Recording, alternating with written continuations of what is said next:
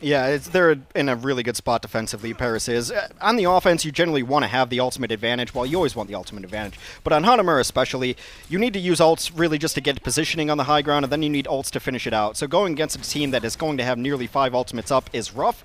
You maybe think about this as a let's try to force out ultimates fight. It might not be a fight you're going to win unless you get a couple of early picks, and then maybe you commit the rally. But they're going to open a flux. Yeah, and Blongo as well. The Mutati field dies. And Sparkle! Oh my word. I mean, we see it a lot, okay? But three kills, one slash? Oh, that's what you want to see in a highlight reel.